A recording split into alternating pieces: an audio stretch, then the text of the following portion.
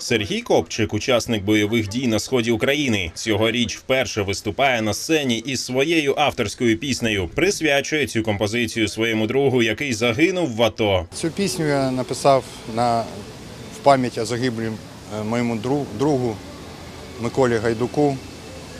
Е, Це була така порядна людина, яка не тільки е, була учасником АТО, але коли прийшла після війни, він став головою асоціації е, учасників бойових дій Нікопольщини.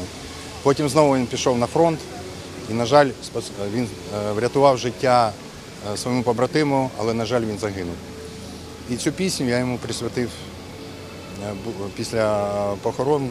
От, от вона мені вилилася в, таку, в такі вірші, які я поклав на пісню.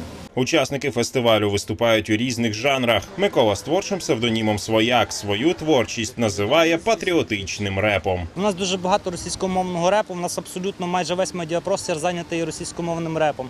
І я е, вважаю за потрібне е, розвивати саме напрямок україномовного репу, е, будь-якої навіть україномовної творчості, тим паче репу. І буду виступати перший раз в Дніпрі, перший раз на цьому чудовому фестивалі пісні народжені в АТО. Е, Буду виступати з піснею Наш бат, яку я написав саме на війні, е, яку я написав е, для, для своїх побратимів, для хлопців, які е, воювали, починаючи з 2014 року, для хлопців, які воюють зараз. Це четвертий фестиваль фронтової пісні. Загалом на концерті із авторськими композиціями беруть участь 20 учасників бойових дій на Донбасі. Після фестивалю пісні можна буде послухати на сайті фестивалю. Найкращі пісні запишуть на диск.